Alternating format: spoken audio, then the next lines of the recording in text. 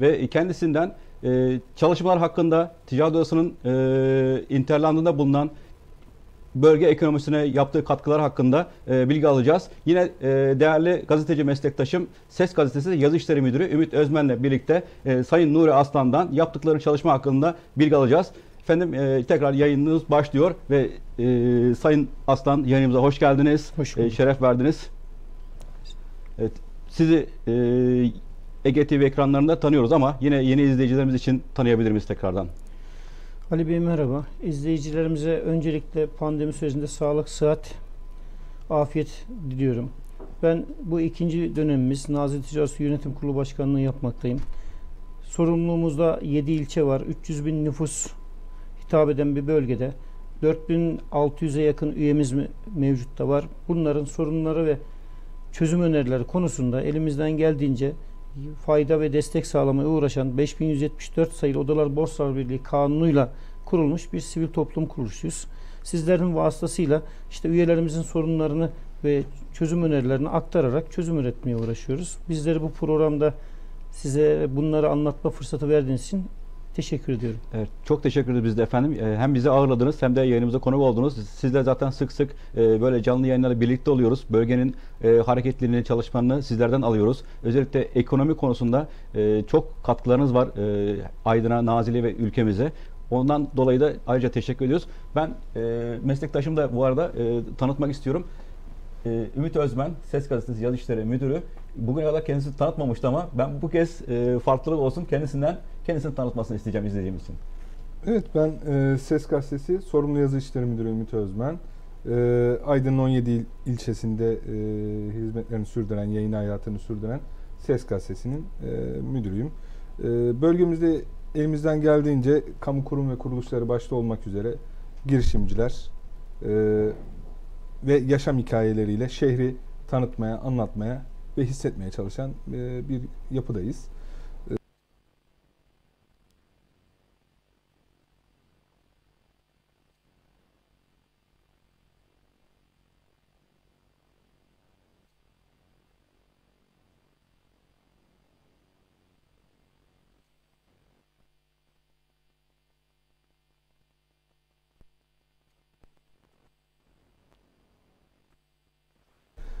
Daha önce Nazilli Gazeteciler Cemiyeti Başkanlığı yapmıştım.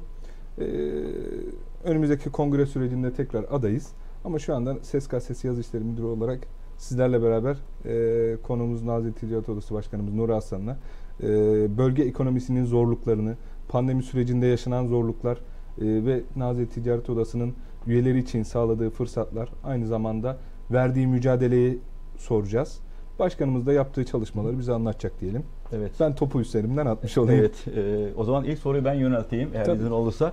Evet, e, şimdi Sayın Başkanım e, pandemi konusunda gerçekten Aydın'da e, ilklere imza attınız. Birçok projeyle özellikle kendi çalışanlarınızın sağlığı ve e, sonrasında da hizmetin aksamaması açısından e, tüm ilçeyi, bölgeyi düşünen bir projeniz var. E, hayata geçirildi. Bunları biz EGTV ekranlarından aktarmıştık.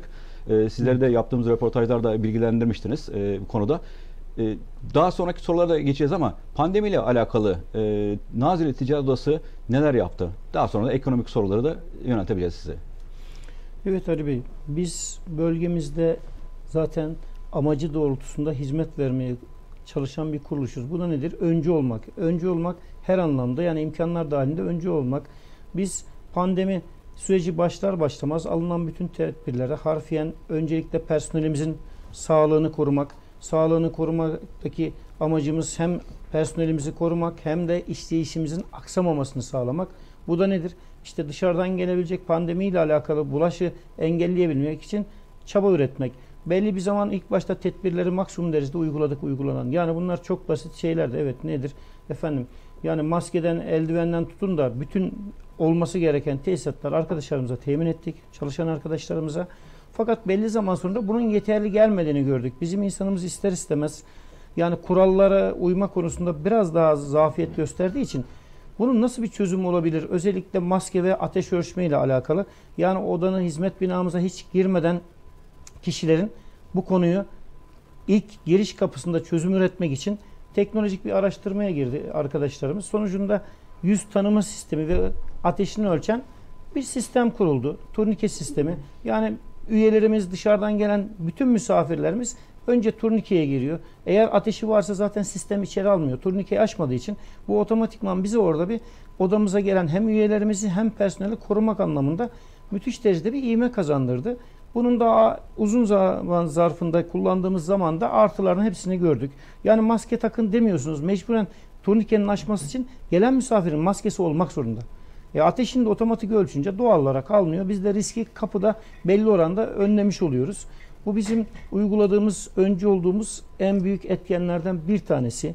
E, pandemi hız arttıkça son bir hafta içinde şu anda biz hizmet katına gelen misafirlerin hiçbirini almıyoruz artık. Ön tarafta bir tabiri caizse set gerdik. Bütün önlemlerin personel arkadaşlarımız dışarıdan evrakları tek tek alıp içeriye hiçbir şekilde sıfıra indirebilmek, sıfıra muhakkak indiremeyiz ama biz en azından burada bulaşı engelleyebilmek için bu tip çalışmalarımız var. Teknoloji ne getirirse imkan dahilinde bunları da yapmaya devam edeceğiz inşallah. Evet, üye sayınız e, oldukça yüksek. E, hatta sizden de rakamı da alalım bununla ilgili, üye sayımızla ilgili. E, bunun getirdiği bir de yük var, ağır yük var. Yani pandeminin yayılması konusunda siz etken olmak istemiyorsunuz. Ya bu konuda o yüzden de tedbirleriniz üst seviyede, maksimum seviyede devam ettiriyorsunuz. E, biraz da bu üyelerimizle alakalı yaptığımız bilgilendirmedir. E, sürekli çalışmalar var. E, Türkiye Odalar ve Borsa Birliği Başkanı'yla bu çalışmaları yapıyorsunuz. Bağlantılarınıza devam ediyorsunuz. Bunlarla ilgili üyelerinizle ilgili neler var mesela yaptığınız çalışmalarda? Şimdi her şeyden önce Ali Bey, biz artık şu anki pandemiden kaynaklı olarak bütün etkinliklerimizi sosyal medya üzerinden yapıyoruz. Yani bu odalar, borsalar biliyorsun, Sayın Cumhurbaşkanımızın katıldığı programlar olsun. Bunlara kendimiz üyelerimizden tespit ettiğimiz sorunlarımızı, çözüm önerilerini arz ediyoruz. Bunun niçin? Zaten bizim odamızın var olma sebeplerinin başında bu gelir. Yani üyelerin sorunlarını çözüm üretebilmek. Biz gerekli bütün aktarımları yapıyoruz. Üyelerimizden gelen sorunları derleyip toplayıp ana sorunlarını yani kişisel değil toplu olarak olan sektör sorunlarının hepsini aktarıyoruz. Bunlar için de çözüm için mücadele ediyoruz. Ya yani bu da pandemide daha önceki yıllara göre yani farazdaki 30 programa katılıyorsak şu anda 100 programa katılıyoruz. Ve oradan gelen bütün sosyal medya aracılığıyla olan bilgilendirmelerin hepsini veya eğitimleri üyelerimize direktman aynı sistemi kullanarak Zoom programda veya ne bileyim eti sosyal medyayı kullanarak eğitim veriyoruz. Bilgilendirmelerini yapıyoruz. Bu konuda üyelerimize bir nebze çözüm üretmeye gayret ediyoruz. Yani arz makamlarını arz ederek. Evet. evet. Başkanım burada e, vurguladığınız şey oldu. E, pandemi sürecinden önce örnek veriliyorsa 30 iken şimdilerde 100 programa katılıyoruz gibi dediniz. Sanırım pandeminin online ile ilgili hani Zoom olabilir ya da diğer bağlantı türleriyle beraber video konferanslarla daha çok e, katılım sağlayabildiğiniz programlar olmaya başladı sanırım galiba. Şimdi şöyle diyebiliriz Ümit Bey. Yani bizim pandemiden önceki rutin programlarımız işte %30 sa doğal olarak pandemiden kaynaklı olarak her geçen gün farklı tedbirler alınması gerektiği için ister istemez bu programların sayısı pandemiden arttı. Anladım. Yani normalde eskiden az oluyor da bugün çok değil. Mevcut olağanüstü durumlardan kaynaklı ve hepimizin başında işte dün Sürekli tedbirler açıklandı. E, tedbirler açıklanınca bununla alakalı sıkıntılar var. Birçok şey var aktarılması gereken. Bu da toplantıların daha sık yapılmasını gerekli kıldığı için bu katılımları yapıyoruz biz. Ee, başkanım e, bu pandemi tedbirleri derken Nazilli Ticaret Odası'nın e, kurumsal kimliği açısından almış olduğu tedbirleri anlattınız. E, esnaflar için de birçok tedbirler alıyorsunuz ama son çıkan gerek karar, kararlarla yani pandemi tedbirleri gerekse bu süreçte çıkan tedbirlerle kaç işletmemiz, kaç esnafımız, kaç işçimiz, sektörümüz etkilendi bu süreçten? Bunlarla ilgili bir çalışma yapabildik mi? Evet biz bunlarla alakalı bir çalışma yaptık. Çünkü gerekli raporlamaları Ankara'ya, bakanlıklara ve Odalar Borsalar Birliği'mize aktarabilmemiz için zaten demin de söylediğim gibi bizim sorumluluklarımızdan bir tanesi bu. Ne kadar üyemiz hangi açıdan mağdur olmuş bunları gerekli yere aktarmamız gerekiyor. Şu anda bizim tespitlerimize göre 223 tane işletmemiz var. Direkt İçişleri Bakanlığı genelgesiyle kapanan ve bunların dolaylı olanları da var. Onlar da arkadaşlarımız tespit etmeye uğraşıyor. Bu 223 işletmede minimumlarda 1500 çalışanı var. Etkilenen. Bu 1500'ün yanında 223 kişi aynı zamanda işletme sahipleri de var direkt bu konudan muzdarip olan. Yani onlar da eklediğiniz zaman takribi 2000 kişiye yakın şu anda kayda değer Bunu ailelerle çarptığınız zaman bildiğiniz gibi 6000 kişilik bir etkisi var. Dolaylı etkenleri saymıyorum. Mesela nedir? Minibüslerin, okulların kapanılıp da servis işi yapan minibüslerden tutun da sonuçta bunlar da etken. Tabii. Doğal olarak onlar da çalışmıyor. Ona ben sinsil olan birçok sektör var bizim bu konuda. Ee, şu an için tam tespit edemediğimiz. Artı bu da bir sadece bizim Nazilli Ticaret Odası'na bağlı üyeler. Evet. Onun haricinde 14 tane sivil toplum kuruluşu var yani. Küçük ölçekli Esnaf odası, öyle. odalarının Ve olduğu. bazı sektörler birçoğu bu odalara kayıtlı. Yani onların tespiti bizde olmadığı için biz sadece kendimizle alakalı olan üyelerimizin sorunlarını ve şikayetlerini dile getirip bunları aktarmaya uğraşıyoruz. Başkanım birazdan e, pandemiyle ilgili yapılan çalışmalar, toplantılar e, veya e, önerileriniz var onları e, soracağız ama e, 2020 yılı bu pandemi e, odamızı ne kadar etkiledi? Yani Nazilli Ticaret Odası'nın üye artışı var mıdır? Eksilmesi mi vardır? E, daha doğrusu işletmeler kapandı mı? Açıldı mı? E, 2020 yılı nasıl geçiyor Nazilli Ticaret Odası ve üyeleri açısından? Şöyle söyleyeyim 2020 yılı bizim Nazilli Ticaret Odası açısından iyi geçen bir yıl. Eğer üye kayıtlarını göz önüne alıp da bunu cevaplıyor olduğumuzu göz önünde bulundurursak. Neden? Biz yani çevre açısından da üyeye hizmet açısından da maksimum derecede önem veren bir meclisimiz, yönetimimiz var ki tamamen üye odaklı çaba sarf ediyoruz. Bu da bir işletmenin şirketler ve kooperatifler hariç bildiğiniz gibi onlar kanunen direkt bize kaydolmakla zorunda ama şahıs olanların tercih etmesinde etken yani yapmış olduğumuz hizmetler. Bu da bizim geçen yıllara gö- göre artış olduğunu gösterir. Mesela en basitinden bu sene 381 yeni kaydımız var. 133 terkimiz var. Yani bu nedir? Düşüş kat. değil, artış var. Yıllara göre söylemek gerekirse mesela 2018'de bizim toplam üye sayımız 4219'muş. 2019'da iki- do- 4296 işte 2020 yılında da 4557 yani takribi her sene %10'a yakın eksilmesine rağmen bir artış söz konusu. Bu da demin söylediğim gibi yani yapılan hizmetlerle şimdi yeni üye olmak isteyen bir üye bize veya farklı kuruma ister istemez yaptığı hizmetlerde göz önünde bulunduruyor. Bunları bulundurduğu zaman da bizim yaptığımız hizmetler bu tercih konusunda öncelik sırası aldığını düşünüyorum. Bu da bizim tabii ki güçlü yönlerimizden bir tanesi. Ee, Başkanım pandemiyle ilgili konulara gireceğim ama önceliğimi e, sizin geçtiğimiz aylarda AK Parti Aydın Milletvekili Bekir Kuvvet Erim'i de e, Nazilli'ye davet ederek zaten kendisi Nazilli bir vekilimiz, milletvekilimiz. E, Nazilli Ticaret Odası'nda bir toplantı gerçekleştirdiniz. Evet. E, bu toplantıda Cumhurbaşkanlığı kararnamesiyle çıkan Aydın'daki 11 ilçenin 3. teşvik 3. teşvik bölgesi kapsamına alınmasıyla ilgiliydi. Nazilli bunların içinde yoktu. Sizler e, yönetim kurulu üyelerinizle beraber e, teşvik kapsamına Nazilli'nin de alınması gerektiğini, neden alınması gerektiğini anlattınız. E, bir dosya sundunuz. Onun haricinde bildiğim kadarıyla Ankara'da bu dosyayı gene ilettiniz. Bu teşvik kapsamında Nazilli'nin alınması için çalışmalarınızda durum nedir? Şu anda ne aşamadadır? Şimdi Sayın Bakanımız, Sanayi Bakanımız Mustafa Varank'la olan toplantıda, Sayın Cumhurbaşkanımız olan toplantıda bu konular iletildi. Özellikle Sanayi Bakanımızın söylediği nokta, yani bu e, bölgesel teşvik, bu uzun yıllardır Odalar Bostar Sayın Başkanımızın Rıfat Sazlıklıoğlu'nun bizlerin talebiydi. Yani bölgesel olarak olmalı. Çünkü niçin?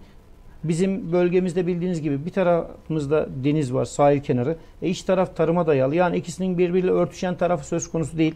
Ama kişi başına düşen geliri oraları baz alırsanız ister istemez buradaki insanların kişi başına düşen geliri düşük olduğu için ortalamada yüksek çıkıyordu. Bu çok iyi bir uygulama. Bunun da Sayın Bakanımız geliştirileceğini, bazı aksaklıklar olmuş olabileceğini, bizi itirazlarımızı kendilerine ilettik, arz ettik. Bunların gerçekleşme noktasında sıkıntılar oldu ve bununla alakalı 20 gün önce bizlere Odalar Bostar Birliği'nden yani verileri tekrar güncelleneceği, güncellenmenin amacı şu 2015 14 15 yıllarındaki veriler üzerinden yapıldı. Doğal olarak biz 2020 yılındayız. Güncel yapılması gerektiği. Güncelleyince de bu tip bizim gibi serzenişte bulunan bölgelerin 3. delge bölge teşvik kapsamına alınacağı gerekçelerle alakalı kendilerine iletilmesi ve o toplantıdan 10 gün sonra işte dediğim gibi aşağı yukarı 15-20 gün önce de Odalar Birliği'nden bize bununla alakalı çalışmalar için evrakları geldi. Biz mevcut 2019 yılındaki verileri yükleyip kendilerine ileteceğiz. Onun önündeki önümüzdeki yıl beklentimiz yani bizim Nazilli'nin de 3. bölge teşviklerden faydalanmasını sağlamak. Çünkü biz şunu anlatmaya çalış, gayret ettik. Manisa biz 3. bölgeydi şimdi 2. bölgeye düştü. Yani Manisa'nın ikinci bölge olmasıyla Nazilli'nin ikinci bölge olmasının bizim açımızdan kişi başına düşen gelirleri göz önüne aldığınızda bir e, şey söz konusu yani uyumsuzluk söz konusu. Onun için bunları arz edince bu gerekli Sayın Bakanımız bu konuda yan düzenlemeler yapılacağını belirtti. Biz de bununla alakalı elimizden gereken çalışmalar yapıyoruz. Sayın vekillerimiz de konularımızı arz ediyoruz ki onlar da bu konuları takip ediyorlar. İnşallah önümüzdeki yılda bu işin Nazilli'nin de 3. bölgeye alınmasını sağlayacağımızı inanıyorum ben. Başkanım destek aldığınız, vekilimizden destek aldığınız e, sorunlarla ilgili bir şey var mı? Gelişme var mı acaba? Sorunlarla alakalı Ee, Bey. mesela sorunları ilettiniz. 21-22 civarında sorunla, sorunla ilgili dilekçeniz vardı, dosyanız vardı. Bunlardan çözümlenmiş olan var mıdır acaba? Varsa nedir? Şimdi sorunları ilettiğimiz sorunlarımızdan çözülenler tabii ki sayın vekilimizlerimiz Allah razı olsun bu konuda bizim üyelerimizden gelen sorun ve talepleri mümkün mertebe çözmeye gayret ediliyor. imkanlar dahilinde. En basitinden her ne kadar e, polemik konusu gibi bir noktaya da gelse otoban işi biliyorsunuz. Evet. Bizim uzun yıllardır sıkıntılı olan, ihalelerin iptal olan gerçekleşti. Bunda kimin yemeğe geçtiyse Allah razı olsun. Biz şu veya bu değil. Biz o yolu kullanacak mıyız? Evet. Bölge açısından biz o yolu kullanacağız. Bizim lojistik anlamında, her anlamda, üyelerimizin gelişmesi, ticareti anlamında bu otoban bizim ekonomik anlamda katkısı var mı? Var gelişmemizde. Bizim için önemli olan sorunun bir tanesi bu. Kaç dönemdir kendiniz sizler de Evet. biliyorsunuz. Yani bugüne kalması. Sonra her ne kadar e, biz talebimiz bir polis okulu vardı bölgemizde biliyorsunuz polis okulu olarak gelmesi. Ama o farklı bir projeyle değerlendirildi. Maalesef beklentimiz karşı, karşılık bulmadı ama en azından o yerin boş durmasındansa boş durmasındansa işte şu anda bildiğiniz gibi minnet Millet bahçesi yapılıyor. Onun çözümü. Artı eski devlet hastanesinin yeri var bildiğiniz gibi yıkıldı kaldı gitti. Bunun yatırım planlanıp okul yapılması konusunda. Yani en azından e, bizim bölgemizdeki sorun olan sorunları vekillerimizin çözüm üretti. Büyük ihtimalle SSKK hastanemizin eski SGK'nın olduğu yerde şu anda diş, Diş hastanesi. diş hastanesi ve bu yapılacak. Bunlar bizim bölgemizde takip ettiğimiz sorunlardan birkaç tanesi. Çözüm evet. Mesela çözülenler vekillerimiz uzun yaşam köyü ile alakalı bir projemiz var biliyorsunuz. Sayın vekilimiz yer tahsisi konusunda o, o konuyla ilgileniyorlar. Tahsisi yapılırsa işte o bir aşamadır. Bölgemize biliyorsunuz yani bunu daha önce de konuştuk. Çok ekonomik anlamda farklı özellikle ekoturizm anlamında, turizmin çeşitli anlamında çok şey katacağını Evet. inanıyoruz. Bu da bizim için önemli mi? Evet. Evet, hatta TOP Başkanı Rıfat Sarcıklıoğlu da hatta bu konuyu, bu projeyi beğenerek destek vermenin de sözünü burada açıklamıştı zaten. Evet. Allah razı olsun. Sayın Başkanımız e, projemizi gidip kendilerine arz ettiğimizde de yani Türkiye'deki ilk böyle bir proje olduğunu ve bunun da sonuna kadar arkasında olduğunu, imkanlar dahilinde yani ne gerekirse aşılması gereken yardımcı olacağını söyledi. Tabii bu bize motivasyon sağlıyor. En azından Sayın Başkanımızın bize böyle bir destekte olması bizi daha çok teşvik ediyor. Biz de daha hızlı bir şekilde başarılı olmak için bu projeyi yürütebilmek için uğraş mücadele ediyoruz. Ee, Başkanım e, küçük ve orta ölçekli işletmeler e, Covid-19 salgını mücadelesi nedeniyle büyük zarara uğradı. Hatta uğramaya da devam ediyor. E, Bu işletmelerimiz için bir öngörünüz veya bir talebiniz var mıdır? Bunların aşılması için bir talepte bulundunuz mu, bulunuyor musunuz? Şimdi bizim bununla alakalı birkaç tane talebimiz var. İşte istiyoruz diye 20 küsür maddelik. Yani de daha önce de be- beyanlarımız var. Oda olarak, oda meclisimiz olarak aldığımız kararlar, üyelerimizin sıkıntıları tespit ettiğimiz. Bununla alakalı en önemlisi biliyorsunuz İçişleri Bakanlığımız genelgesiyle kapanan, daha önce de 2-3 ay kapalı kalmış olan işletmelerin en büyük birinci sorunu kira sorunu. Maalesef işletmeler kapalı ama kiralar devam ediyor. Bununla alakalı bizim devamlı talebimiz oldu. Halen de biz talebimizde ısrarcıyız. Şu anda yine kapandı. İşletmeler çalışmıyor ama kiraları devam ediyor. Elektrik suyu devam ediyor. Bağkur sigortası. Kirayı hiçbir cirosu olmadan ödeme lüksleri yok. Emin olun şu anda gerçek olan daha önceki İçişleri Bakanlığı genelgesinden kapanan işletmelerin o günden kalan kira borçları duruyor. Evet. E peki yeniden kapandı. Bu işletmelerin bunu telafi etmeleri şu an itibariyle ikinci pandemi İçişleri Bakanı genelgesiyle kapanmış olmasından dolayı mümkünatı söz konusu değil. Yani bizim işletmelerimizi hedeflerimiz doğrultusunda 2023 hedeflerimiz var. Mevcut olan işletmelerimizi korumamız lazım. Çünkü yeni bir işletmenin açılıp o noktaya gelmesi işletmenin konumuna ve durumuna göre 5 yılla 10 yıl arasında en erken bir zaman alacak. E, mevcutu korumak her zaman daha avantajlı. Birincisi kira yardım istiyoruz. İkincisi sıfır faizli kredi istiyoruz ki bu üyelerimiz ayakta kalsın. İkincisi daha önce kredi aldılar. E kredilerin ödemeleri geldi doğal olarak. E Şimdi zaten kazanmadı, çalışmıyor da bu işletme sahipleri bu krediler neyle ödeyecek? Hem eski kredileri var hem de pandemi dönemiyle verilen destek kredileri var. Evet İkisi kesinlikle. de Artı kiraları var. Artı kiraları var. Artı bildiğiniz gibi bakın KDV ertelemesi vardı. Öteleme dediğimiz. Efendim şey, bir vergilerin ötemesi, ötelemesi vardı.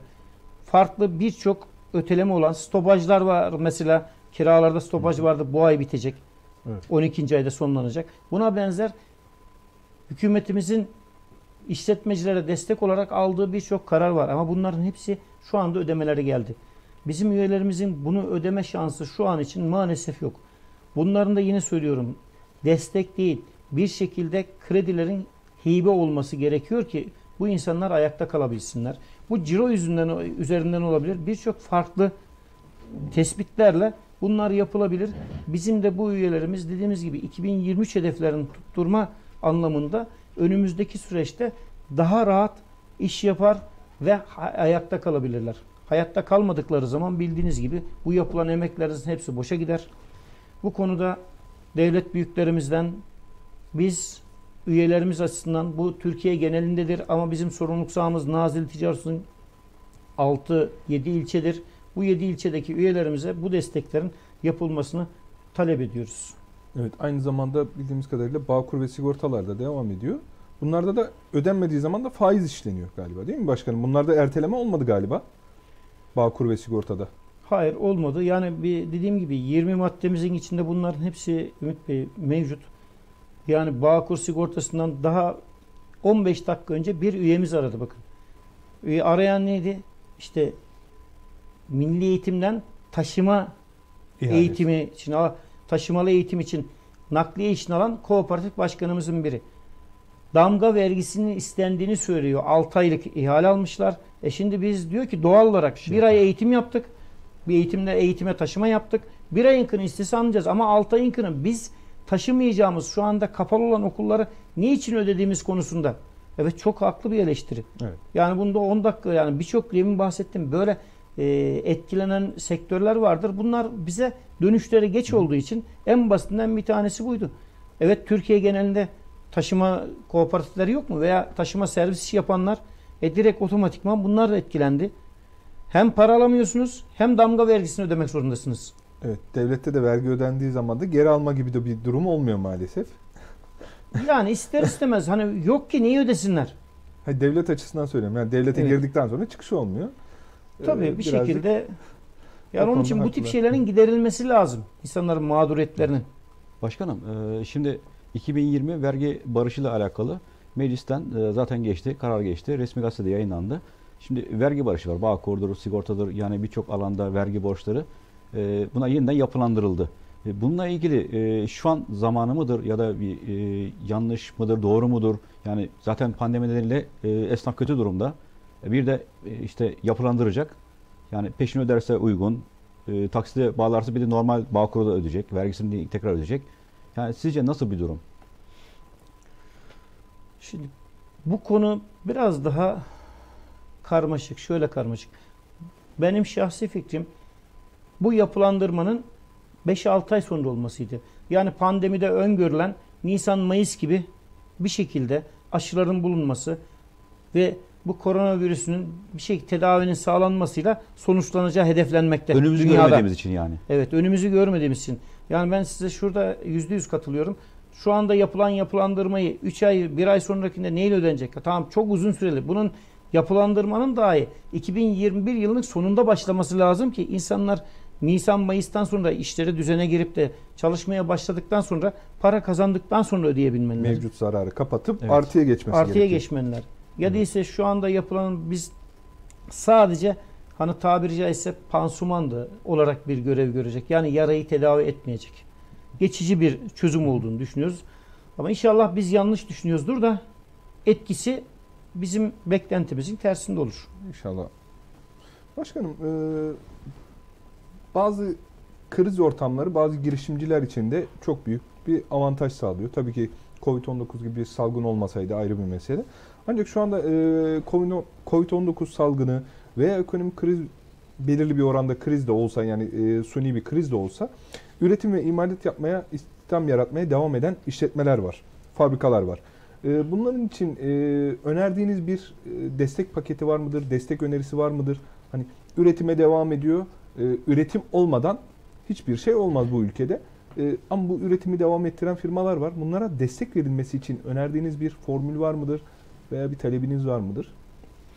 Şimdi şöyle söyleyeyim. Bizim özellikle şu anda pandeminin haricinde çalışan işletmelerimize efendim nedir? Teşvikler anlamında ne teşvik yapılır? İslam'la alakalı teşvik yapılabilir çalışanlarla. Yani teşvik rakamını artırmak lazım. Çünkü bir şekilde katma değer üretiyorlar. İşsizliğe çözüm üretiyor bu işletmelerimiz. Genel için mi? Hayır. Bakın genel için değil. Belli sektörlerde işleri iyi. Bütün sektörlerimizin değil. Ama bu %15, %20 işletmelerimiz, üyelerimizin işleri. iyi. Geri kalanların cirosu üzerinden desteklenebilir. Yani somut rakamlar üzerinden. Bunun en basiti ciro üzerindendir. Çünkü ciroların enflasyonla artışla göz önüne alınarak ciro düşük işletmelerimize farklı destekler adı altında desteklenirse bizim hepimizin bildiği bir gerçek var. Biz üretmeden büyüyecek bir ülkedeyiz. Biz üretmek zorundayız. Onun için üreten kesime maksimum derecede destek verilmeliyiz ki üretelim bizim ülkemiz cari açığı kapatsın. Diğer türlü bizim ülke olarak bunu kapatma lüksümüz söz konusu değil maalesef. Bu da artık bilinç tamamen e, pandemi sürecinde e, yerini buldu diyelim. Yani devamlı söylenen ama tam anlamıyla önem verilmeyen, veremediğimiz bir konuydu. Şu anda pandemide gördük ki bir maskeyi yapmak bile yani teknolojik ürünleri bir kenara bırakıyorum. Onun bile önem arz ettiğini gördük. Bu da neydi? Üretmekti. İnşallah bu pandemi Sayın Cumhurbaşkanımızın da özellikle söylediği krizleri fırsata çevirme noktasında fırsata çevirmektir. Biz de inşallah ülke olarak bizler de Nazil Ticaret sorumluluk sahamızdaki üyelerimiz de bir nebze de olsa burada kendimize düşen payı almak istiyoruz. Bunun için de desteklerin artırılması gerektiğini inanıyorum ki bu üretim daha da artsın. Evet. Girdi maliyetleriyle ilgili bir çalışma talebiniz oldu mu? Elektrik olur, enerji olur. Bu tarz bir çalışmamız var mıdır? Yani onlar için en büyük etken nedir? Ham madde tamam bir nebze dolar e, bu dövizle ilgili bir durum ama Evet. e, bazı noktada da yani bazı üreticiler için yani çiftçiler için mazot girdisi çok önemli. Ama e, sanayici için de e, enerji maliyetleri önemli. Bununla ilgili bir çalışmamız var mıdır başkanım?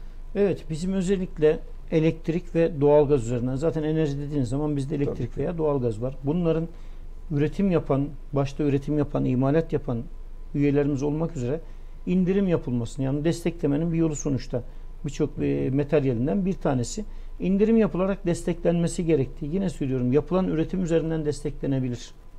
Birçok formül geliştirilebilir konuyla alakalı. Bu destekleri al- aldıkları takdirde hem dünyada rekabet güçlerini artıracaklar. Rekabet gücü artarsa sonuçta demin söylediğimiz noktaya yani bizim ihracatı artırmamız için rekabet etmemiz lazım. Evet. Ve Onun için de girdileri düşürmemiz lazım. Bir tanesi de bu enerji kaynağı. İnşallah bundan alakalı da bu yöndeki üyelerimizin talepleri gerçekleşir de ekonomik olarak da katkılar artar üyelerimize. E, gerek Enerji Bakanımız Mustafa Barank gerekse Ekonomi Şurası'nda Cumhurbaşkanı Sayın Recep Tayyip Erdoğan'a e, bir çok paket önerisinde de bulundunuz. Bunlar sanırım yer alıyor galiba bu paketlerin içinde yanlış hatırlamıyorsam başkanım. Evet, Sayın Cumhurbaşkanımıza ve Sayın Bakanlarımıza, çünkü birçok e, Sanayi Bakanımız başta olmak üzere bakanlarımızla toplantılarda biz sorunları, sektörel sorunları arz ediyoruz kendilerine. Sanayi Bakanlığımız olan Sanayi Bakanlığımıza, işte Tarım Bakanlığımız Bakanlığı. olan Tarım Bakanlığımıza, işte Çevre Bakanlığımız olan yani çünkü bizim bildiğiniz gibi ticaret odalarının çok geniş bir üye portföyü var. Farklı alanlarda. Hem Sorunlar yedi da ilçeye çok bakıyor, çeşitli. Sorumlu sahasında Evet. geniş. Sorunlarımız çeşitli olduğu için bunlar arz ediyoruz. Bunların toplantı nokta Sayın Cumhurbaşkanımız. En son bölge toplantılarında bölge temsilcileri olarak katılan arkadaşlarımıza biz sorunlarımızı aktardık. Bu sorunlarımızı ortak sorunlarımız çünkü bildiğiniz gibi Türkiye'nin birçok yerinden gelen sorun, ortak sorunları kendilerine arz ediyoruz. İnşallah bu konularda Sayın Cumhurbaşkanımızın geçenlerde açıklamaları var bildiğiniz gibi. Özellikle işte ekonomi anlamında reformları. Bu reformların içinde de biz bunları bekliyoruz. Üyelerimizle alakalı sorunların çözümü noktasında. İnşallah. Başkanım e, bir de bu e, COBİ'lere yönelik e, krediler çıkıyor. Bazen bunlarla ilgili aksaklıklar yaşandığı söyleniyor. Yani hani bu kredi tahsisleriyle ilgili. Bu kredi tahsili, tahsis sürecinde Nazilli Ticaret Odası'ndan bilgi veya işbirliği sağlanıyor mu başkanım? Yani bu tarz krediler direkt veriliyor deniliyor ama yani bankalar aracılığı. Ama bu bu kredilerin bir ucundan Nazilli Ticaret Odası'nın tutması isteniyor mu? Ya da siz istiyor musunuz? Şöyle söyleyeyim Ümit Bey. Bizim bu benim ticaret odası başkanı olduğum günden beri o zamanlar COSGAP'in sıfır faizli kredileri vardı. Yani o günden beri savunduğumuz ve çözüme ulaşması gereken bir konu olarak kabul ediyor. Halen de bu sorun devam ediyor. Sorunun şekli şu. Yani sizin bankalarımızın bu tip bir kredi faydalandırma noktasında devletimizin teşvik ve desteği olduğu zaman önceki tercihleri birebir bankalarla iyi çalışan müşterileri tercih. Yani ekonomik sıkıntıları olup iş yerleri işte genelgeyle kapanmış veya cirosu düşen işletmeler değil. Bankalar burada şunu gözetiyor doğal olarak. Paraların dönüşünü göz önüne alıyorlar. ya da büyümeyi göze yani büyümeye çalışan e, girişimciyi göremeyebilirler ama aslında bu burada ticaret odasının olması gereken noktası sanırım bu. Daha Evet. çok. Ben yüzde yüz katılıyorum. Zaten sonucunu oraya bağlayacağım. Bizim talepimiz şuydu. Yani bir kredi çıkacaksa, verilecekse en azından ticaret odası bir kişi olmayabilir. Şu talep edilebilir. Bir kredi bir kişiye verilecektir. Oda tarafından 5 tane ihtiyacı olan üye belirlenir. Bundan bir tanesini tercih edebilir. İlla bizim dediğimiz değil. Bizim dediğimiz olunca farklı bir anlam yükleneceği için böyle çözümler olabilir ki gerçekten ihtiyacı olanlar faydalansın ve hükümetimizin ve devletimizin bu yapmış olduğu teşvik destekler amacına ulaşsın. Ya değilse sizin ekonomik sıkıntınız yok, imkanınız düzgün. İlk önce size veriyorlar veya bize veriyorlar. Tabi burada bu amacına hizmet etmiyor. Amacına hizmet etmeyince de maalesef yekünde, kümülatifte baktığınız zaman ciro evet nedir? 1 milyar dolar veya 1 milyar TL kredi verildi. Ama bu kimlere verildi? Esas sorun bununla alakalı. Bu düzeltilirse amacına ulaşacak şekilde inanıyoruz ki çok verimli olur. Sadece son kredilerde yapılan şöyle bir de şey vardı uygun olan nakit para verilmedi.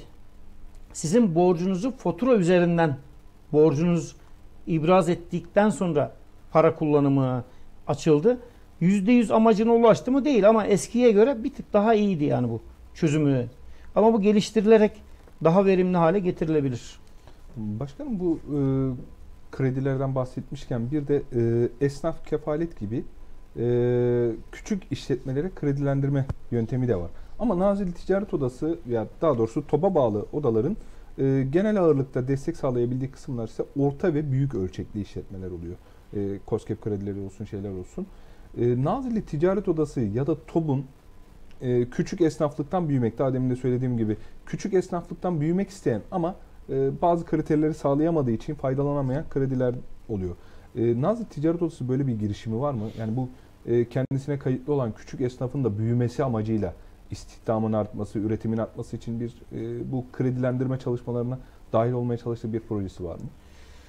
Evet Ümit Bey var. Bunun somut örneği olarak da daha önce bahsettiğim gibi pandemi sürecinde 4. 3. ayın sonlarıydı. Sayın Başkanımız, Rıfat Başkanımızla görüştüğümüzde çünkü bütün üyelerin sadece bizim değil, bizim gibi ticaret odası ve sanayi odalarının hepsinin talebi buydu. Esnaf odalarında gittiğiniz zaman yani üyeleri doğal olarak gidip çok düşük faizle kredi alabiliyordu. İlk defa Nisan ayında, Nisan'ın birinde çıkan paketin içinde üyelerimizin cirosu işte 1 milyonun altında olanlar 50 bin lira direkt esnaf odalarındaki gibi kredi verildi. Yani şey sorulmadan düşük ciroya baz alarak kota kondu. Onun üstünde faydalanamaz diye. Bu etken miydi? Evet etkendi. Yine söylüyorum ben aşağı yukarı 7 senedir oda başkanlığı yapıyorum. İlk defa küçük işletmelerimize böyle bir destek. Yeterli mi? Değil. Ama bir ilkti başlama konusunda. Bu devamlı Rıfat Başkanımızın da söylediği. Ama şöyle bir sorun var bizde. Tacirle esnafın ayrımında bir sıkıntı var. Şimdi gidip baktığınız zaman esnaf odasına kayıtlı bir üye 3-4 milyon TL'lik ciro yapabiliyor. Aslında normalde o cirodaki üyenin tüccar olarak ticaret odalarının olması lazım. Bunun ayrımı yap- yapılması gerekir. Kısmi bir yapılmış özellikle şöyle yıl sonlarında defter tasdiğinde belli bir ciroyu geçenlerin defter tasdiğini yapılmayıp oda ticaret odalarına kaydı yapılması gerekir ama bu uygulanmıyor. Şimdi uygulanmayınca da amacına hizmet etmiyor. Yani bizdeki düşük cirolular varsa bunların esnaf odalarına yüksekçe belli o ciroyu geçenlerin de otomatikman ticaret odalarına geçmesi gerekir ki o zaman bu ayrım netleşsin. Şu anda ayrım net değil. Bizde de var 300 bin lira 400 bin lira e, ciro yapan yıl içinde. Bu da bizde tüccar olarak geçiyor normal olarak. Ama şimdi tam tersini düşündüğünüz zaman esnaf odasında 3 milyon, 4 milyon, 5 milyon, 7 milyon yani ciro ile çalışan işletmeler var. Bu düzenlenirse demin sizin sorduğunuz sorunun cevabı o zaman daha net olur. O zaman biz küçük kredi istemeyiz. Ha bu böyle devam ediyorsa da aynı esnaf odalarındaki gibi sıfır faizli, düşük faizli, cirosu düşük olan işletmelere kredi lazım. Ki bizim üyelerimiz de geliştirsin ve büyüsünler. Mağduriyet oluşmaması Mağduriyet için, eşitlik oluşmaması. olması için. Ee, başkanım bir de e, ekonomik sıkıntılara rağmen e, yatırım yapmak isteyen girişimciler var. Ama e, özellikle Nazilli ve çevre ilçelerinde sanayi alanı bulmakta zorlanıyorlar. E, bununla ilgili bir e, talebiniz daha önce de iletmiştiniz ama son durum nedir?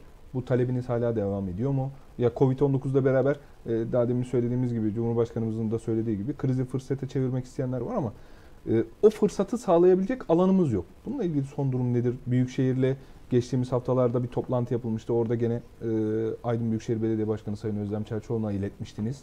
E, bunlarla ilgili bir çalışma dönüş oldu mu size? Bu konuda da son durum nedir? Evet onunla alakalı bir dönüş oldu. 1 bölü 25 bini konusunda. Bu da bizim yani yıllardır sav- savunduğumuz çözüm olması gereken bir konuydu. Özellikle sanayi alanlarıyla alakalı konu. Özlem Başkanımız sağ olsun bundan alakalı 1 bölü 25 binde çalışmalar yaptı. Biz de bu çalışmalara katıldık. Fakat bir senedir bildiğim kadarıyla bir senedir 1 bölü 25 binin mahkemelik olduğu İl Tarım Müdürlüğü'yle ve bundan dolayı bizim Nazlı'nın etrafından geçen bir çevre yolu projeler var. Bunun durdu. Evet. Bizim sanayi alanları talep ettiğimiz bu Kuyucak'tır, Bozdağ'ındır, Nazil'dir birçok alanda buralarda yerlerin belirlendi. Fakat bu mahkeme aşamasından dolayı bu işin beklemede olduğu. Bu konunun acilen çözülüp bizim bu sorunların çözülmesi lazım. Bu alan lekelemekle alakalı birinci sorun. Esas ikinci sorunumuz bizim büyük sorunumuz şuradan kaynaklanıyor. Siz alanı belirlediğinizde bugün 20 lira 30 lira 40 lira olan bir arazi sanayi alanı dediğiniz zaman 300 lira 400 lira gibi bir fahiş bir fiyata çıkıyor. Çünkü bizler rantçıyız. Yani öyle bir şey e, olduğu zaman biz bunu otomatikman fırsata çevirmeye uğraşıyoruz. Bizim önerimiz şu. Sayın Bakanımız Mustafa Varank Aydın'a geldiğinde de arz ettim ben. Söz aldım kendisine.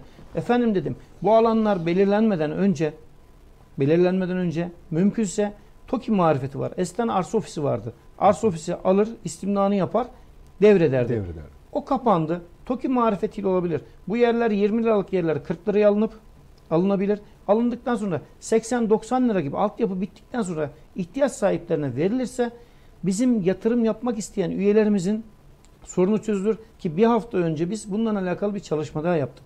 Yani acilen ihtiyacı olan üyelerimizi kaç dönüm hangi sektörler ne iş yapmak istiyor tespitini yaptık. Bu da şu anda 200 dönüm bugün için arazi olsa 200 dönüm arazisinde en az 300 dönüm istimlak etmeniz lazım yoldan dolayı. Şu anda yatırımcısı var. Bakın kriz olmasına rağmen bizde yatırımcı var. Yer varsa buradan devlet büyüklerimize, bütün yetkililere arz etmek istiyorum. Yerleri siz gösterin. Bizim yatırımcımız var. Bizim yatırımcımız yer istiyor. Ama uygun şartlarda uygun olması lazım ki bizde uygun olmayan yüksek rakamlarla bile yer bulmakta zorlanıyoruz. Yani bu sorun çözülürse Nazilli ve çevresinde emin olun bizim yatırımcımız mevcut da var. İnşallah bu konu çözülecek. Biz bunu her yerde aktarıyor ve çözüm için yetki devlet büyüklerimizden, siyasetçilerden, herkesten Yerel biz destek istiyoruz. Yerel yöneticilerden. Evet, başkanım e, yayınımız oldukça e, azaldı, süremiz azaldı. Ümit kardeşimden rica ediyorum başka sorumuz yoksa bir toparlayalım.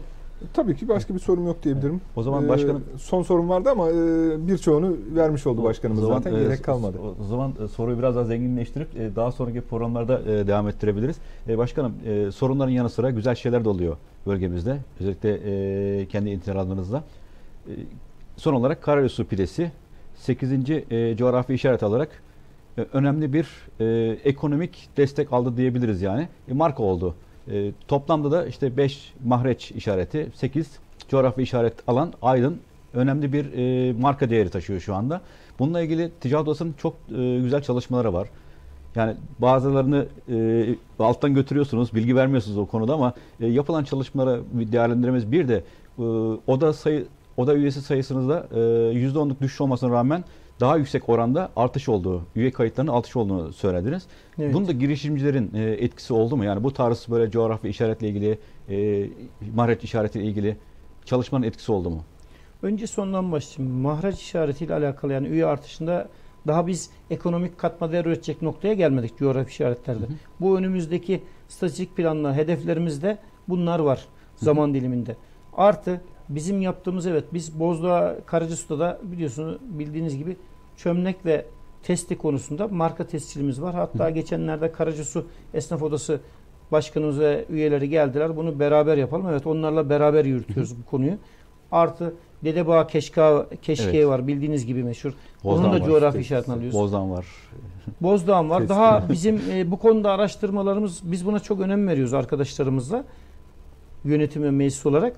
Yani daha birçok e, tespit edip başvurduğumuz ve belli sonuca ulaşmaya çalıştığımız kalemler var. Tabi bunların hepsini zaman geldikçe Evet, açıklamakta evet. fayda var ama bu üç tanesi Bozdağ'ın sucuğu dahil Evet. Karacasu'daki iki tane işte çömlek ve keşkek bir de Nazilli pidesinin bugünlerde tescilini yani coğrafi işaretini almak üzereyiz. Bunlar tabi aldıktan sonra açıklamak gerektiği için ama başka farklı e, coğrafi işaret konusunda çalışmalarımız da var. İnşallah bölgemize katma değer üretmek, Hı hı. bölgemizin değerlerini bir katma değer üre- üretmek anlamında hem patent hem coğrafi işaretini alalım ki bizden sonraki bu işleri yapan, burada yaşayan insanlara katkı verelim. Yani sadece biz değil. Biz bizden sonra en az 50 yılı düşünürsek bir amaca hizmet etmiş oluruz. Bu koltukların da hakkını veririz diye düşünüyorum. Sadece biz değil, bizden sonraki olmalı. Tabii bu bizim odamızın yönetim ve meclisinin ortak bir düşünce tarzıdır.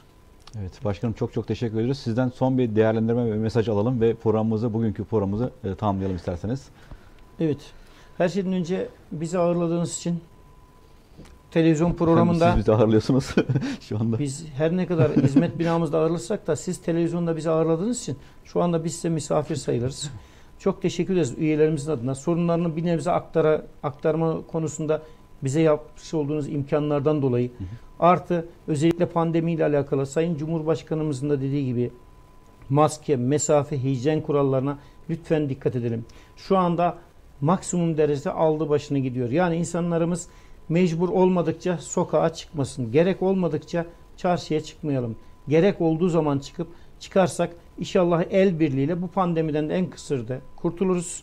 Sizin aranızda bütün hasta olan insanlarımıza Allah acil şifalar versin der. Saygı ve sevgilerimi sunuyor. Herkese selamlar sunuyor. Efendim çok te- teşekkür ediyoruz. Efendim e, değerli izleyenler Kenti Yaşam e, programımızın 3. bölümü de sona erdi. E, az sonra Aydın Büyükşehir Belediye Başkan Vekili Sayın Barış Altıntaş konuğumuz olacak. Saat başında e, tekrar sizlerle birlikte olacağız. Yine gazeteci meslektaşım Ses Gazetesi Yazı İşleri Müdürü Ümit Özmen'le yine aynı şekilde Sayın Barış Altıntaş'ı ağırlayacağız.